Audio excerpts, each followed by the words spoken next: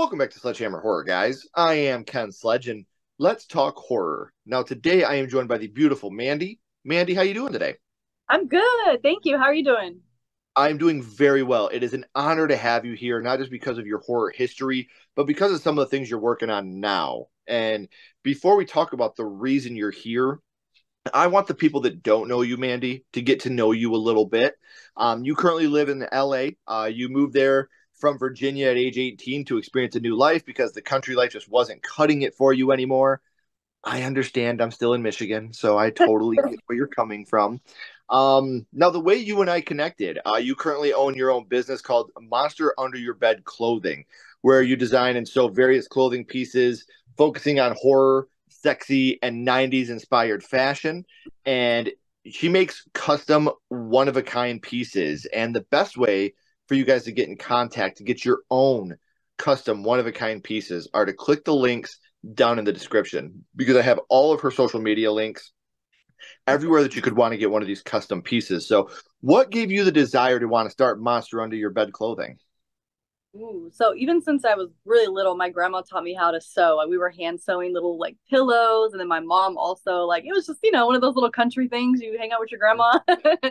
So I used to remember getting those little like craft store le- um what are they feathers you know those little cheapy pink and blue sparkly feathers and i used to buy like solid color t-shirts and i would just sew them and it would be like the ugliest thing you've ever seen but i just loved it i was like i did that i made that so ever since I was young, I was always into fashion. Um, and then into middle school, high school, I did graphic, des- uh, you know, the graphic design class. And I sure. remember asked like, "What do you want to be when you grow up?" And I think that's like, I know it's weird. It was like ninth grade. It was the first time anyone ever asked me that, and I really thought about it and I was like, I want to be a fashion designer. And I made like this whole little whatever graphic design thing that we were doing our project at the time. And I don't know, ever since that moment, I just took it kind of serious. right. Well, and like I said, this is how you and I discovered each other. I came across some of your creations. I was very, very interested in what you were doing. And I reached out because if there's something I love in this world, it's horror. If there's something I love more than that, it's when people are finding their passion and doing their calling in life wrapped around horror. So to be able to watch you do these creations that are inspired by some of the movies that made you, I think is absolutely amazing. So how long have you been in business for now? I should probably really keep track, but like official month your bed, I feel like it's been at least nine, maybe going on 10 years. Yeah. Yeah. Well, and the good thing about that too is when you get a custom piece uh, from Mandy and Monster Under Your Bed Clothing, this is one of a kind. Nobody else is ever going to duplicate or replicate the thing that you're getting. And she works very hard to make sure that they're all one of a kind pieces. Now, when someone submits a design, what's the best way to go about making sure that they're getting the exact design they want? Do you guys go back and forth, or is it kind of like you have your designs, they pick what they want, or how do you, how's your process work? Honestly, a bit of both. So you can message me um, and say, hey, I really like this on your page. How do I get it? And those are probably the easiest ones because it's like something I made a hundred times. You know, I have my bestseller. Oh, no problem. I got you. But then someone's like, hey, have you ever made this in pink? Or can you do it like sometimes I do like the uh, slasher, ghost face, Jason, whatever. They're like, have you ever done with, um, you know, a pumpkin face or whatever? And I'm like, oh, I haven't, but I can. So it's kind of sure. just either you can ask for customs or you can say, hey, I like this on your page, or you can alter something I've already kind of made and have it your style. So it just either one. And I said this a little bit ago, but I mean it. The quickest way to do that is by clicking the links down in the description. So, um, like I said, I stumbled upon your page. I was very impressed uh, with what you do. And to bring you on here to learn how it started for you is such an honor for me because I feel like I don't remember my first comedy. I don't remember my first drama, but I remember the first time I got that high of watching a horror movie. So let's make that segue now. So we know what you got going on now and in the future with Monster Under Your Bed clothing. And I couldn't be any more proud of the hard work that you put into your company. But I gotta know. Well, let's go back to the past, Mandy, and talk about what got you started in the horror genre. Your first horror movie, and Mandy, the first horror movie that you watched was Child's Play. As if you guys didn't know. um, so Love Child's it. Play. I, I've talked about this numerous times, and anybody that's a repeat viewer of the podcast knows is my absolute favorite horror franchise. Um, I think that it's it's with the exception of Scream, where I don't think Scream's really had any stinkers. I think Child's Play is the most consistent horror franchise out there where I can put on any of the movies and be absolutely contented in what I'm watching. So, do you remember about how old you were? The we're talking about the OG 1988, right? We are. So I was born in 92. So technically, you know, I didn't see it at its debut, but it felt so fresh or early 90s, right? So Yeah. I want to guess I was probably four or five years old. I up to six, no older than six. So I'm pretty sure I was four or five because I was the youngest, you know, of all my cousins, and they were all boys, and they were already into all the horror shit, you know. So I remember Right. walking like, huh, and I just that's the one that sticks out the most. Like I we watched a lot of horror, Jason, Halloween, The Leprechaun. He's another favorite, but that one I remember that because I'm naturally a redhead. So I got called Chucky a lot. So I just rem- it reminds me of my like childhood, my whole youth. right and it's Yeah. funny because um i feel like if we watched child's play you know in our in our teen years or as a young adult for the first time it probably wouldn't have the same impact but when you are a child and your life revolves around um, action figures dolls stuffed animals things like that to watch a movie like this is very impactful because that's our world at that you know that's all we know Nintendo and action figures. So, um, we know that you were quite a young lady the first time that you had seen it, but were, were you with your cousins the first time? Was this like a, hey, let's get Mandy around and scare the shit out of her? honestly i think we were just hanging out like I, I they didn't really pick on me i would say. It's funny because i was such like i don't know if this term is still a thing but like a tomboy. I was mm-hmm. just another of the dudes you know? I never wore like i would wear dresses and stuff for picture day or whatever but i was such a boy played in mud you know bikes like it was normal. So they didn't like pick on me like a girl like a girl. But i have another Right. cousin she was the girly girl and like she was already painting her nails you know by like four years old five years old. She was the one we all got together to scare. So i was the cool one. Yes. Right well, um, I feel like obviously, you know, at the time of recording, it's 2023. Uh, Chucky season three just ended the TV series. The first half of it just ended, and so that shows the longevity in what Child's Play is able to do. And I feel like that comes with being so iconic and so memorable. And nothing is more iconic than the first movie, in my opinion, when it comes to some of the scares and some of the kills and things like that. But which scene would you say it was, Mandy, that affected you the most from the first Child's Play? So i think I, I do there's two scenes and i know that we want the scary scene right so i'll start with that the scariest was just when like andy's mom was like something's going on with this damn doll i know he's real you know i know he's gonna talk and she picks him up and she's like I said talk to me, damn it, or else I'm gonna throw you in the fire! You stupid bitch, you filthy slut! Did you fuck with me? in that scene i was like oh shit that's probably the best like out of the the spook you know because that's our first time as the viewer that we actually see Chucky come to life. Before this, it's all in shadows and first person Yeah. things. like at this moment, when you finally see that face change, you stupid bitch, you little slut, Yeah. you're like, whoa, I don't even know what those words mean right now. Yes. You know, so to see that is absolutely terrifying. And it still holds up today. Like the practical effects of the doll it's still amazing. hold up so well today. cgi can't do that Absolutely not. But then my other, I don't know why this sticks in my head. Do you remember when Andy, like in the beginning, he wakes up and he like makes his mom breakfast and he dumps the mm-hmm. cereal and he burns the toast? For some reason, that sticks in my head. It's not even scary, but like that movie alone has so many like just good parts. Well, I think that the good thing about that, and something that we often forget about in movies nowadays, is how truly important it is to not only build our character development, but to mm-hmm. build our relationship between characters. And this really is a character building moment between Andy and his mom. You have this moment of, you know, he's running through the hall and the milk's getting all over the tray, and he's got a literal glob of butter on the most Yep. burnt piece of toast, and she picks it up and the butter falls off. And it shows that, like, at, at this point, I've never seen anything more cute than this fucking kid right now. Like, this is the cutest thing I've ever seen. And, you know, he's making his mom breakfast in bed, and then he goes back out and he's watching the good guy on TV. Like, it's it, it that moment, you're really like, wow, this kid is really has this perfect relationship with his mom. You know, because then they cuddle up in the bed and she's holding him and rocking him, and they really have this perfect mother son relationship. So I completely remember that scene because I felt the same way as a kid. Like this is like even as a kid, like you realize the purity of Yes. that moment and how amazing that moment truly is. And um, you know, let's go from something super pure to something not.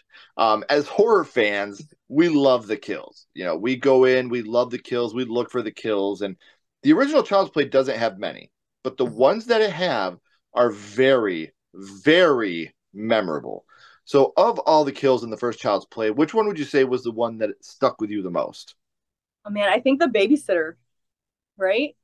It's just like it just like oh that was like I don't know that I don't even know how to explain it. I just I that pops in my head immediately. There was other ones too, but I, there should be more important. But just that scene alone and it shows like Andy and his mom, and they're just like it really affected their life because you know that's someone that he dealt with and they knew very well. And then also us, we're just like, damn, that was she was a nice lady, like Chucky.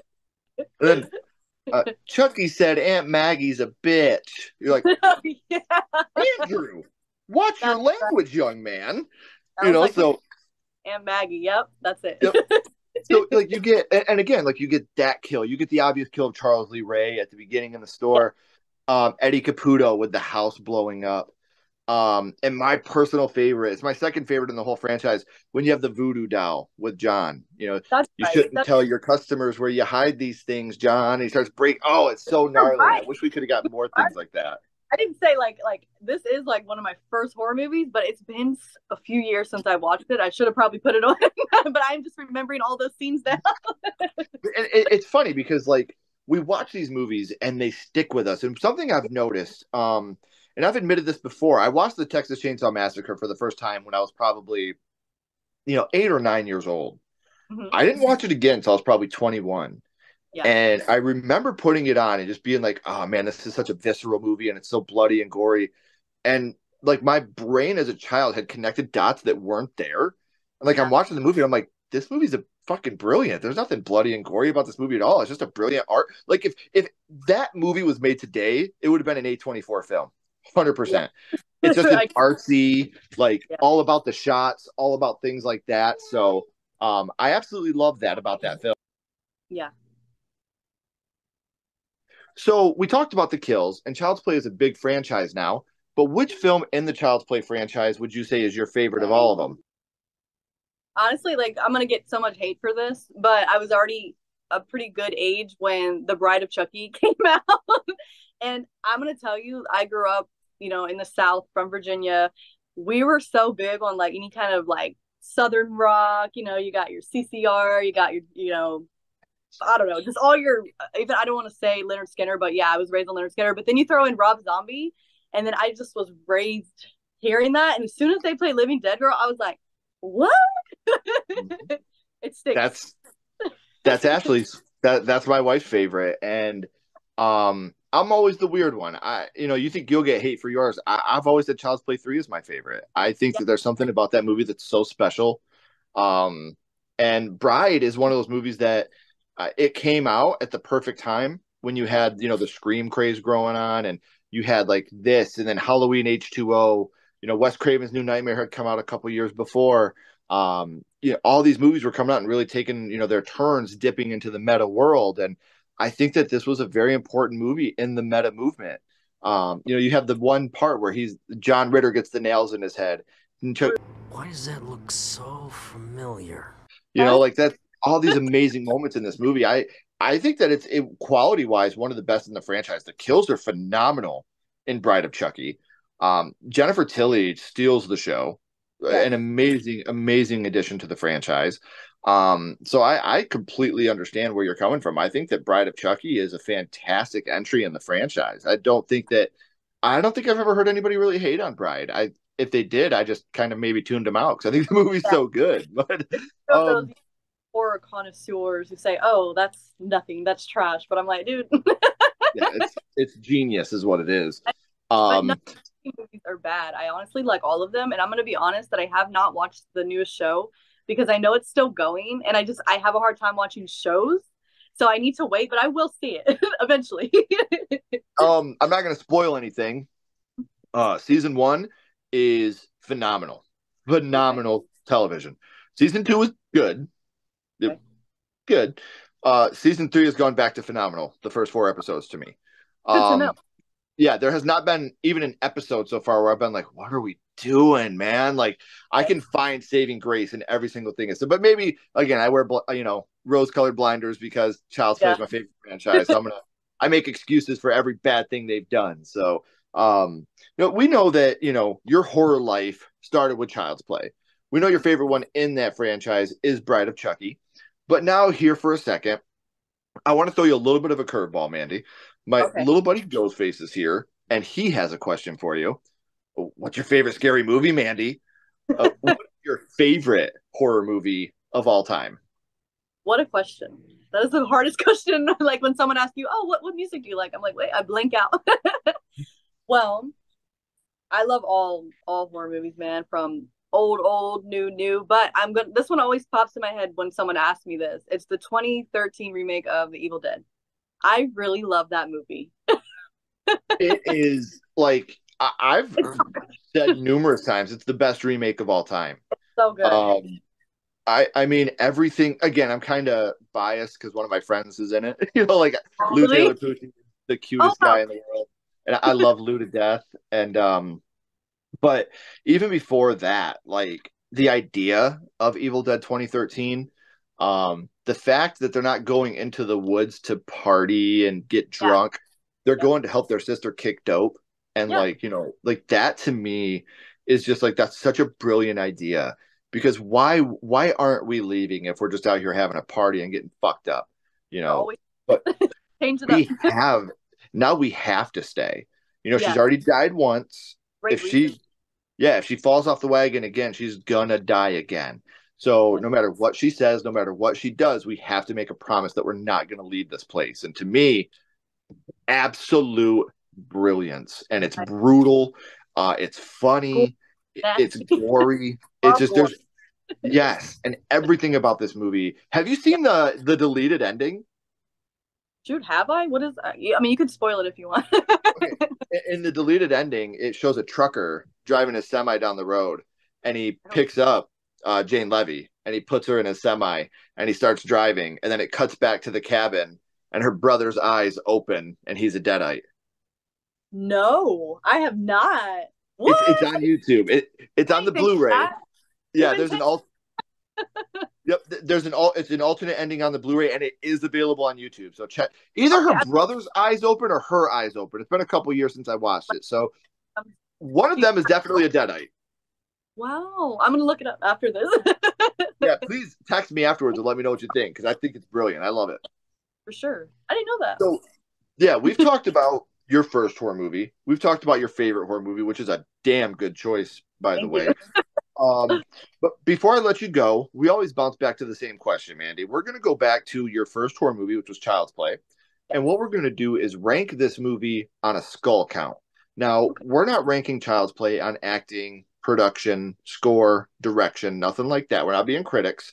What we're doing here is ranking this movie on how much it affected you on your first viewing. So, zero skulls being not effective, five being extremely effective. You can use half and quarter skulls anywhere in the middle. Okay, Uh, Mandy, what would your ranking of Child's Play be? okay. I'm honestly like it's gonna be pretty high. I'm gonna go with a good four and a half for that one. I I love it, and it just it it, it felt like it's a whole part of my childhood. It opened me up to who I am now. Like it opened the door, and like I said, I got called Chucky. I was the redheaded little like face, freckle face, you know. And there, it's just so many things about it. It reminds me of my family, of my childhood, of myself. And then just I kept it going. I'm still into horror. I still love Chucky. so it's gonna be high, four and a half. it, it has to be. Like I said, with something like that that's really shaped and molded your life this long, it has to be up there. So I know I said it at the beginning, guys, but we are at the end of the third act. The credits are about to roll and the curtain's about to drop. But before that happens, make sure you're checking out her store. I have all the links down in the description. Make sure you're following her on social media. Get some of your own custom apparel. Because, like I said, no one makes it like her and no one will wear it like you. So make sure that you are getting some of that custom apparel. Uh, Mandy, please don't go anywhere. I have a couple more questions for you. Um, everybody else, if you haven't already, please like and subscribe. It really helps the channel more than you know. And follow Sledgehammer Horror on social media. All our links are in the description as well. But until next time, keep talking horror, stay what you are, and we'll see you guys soon.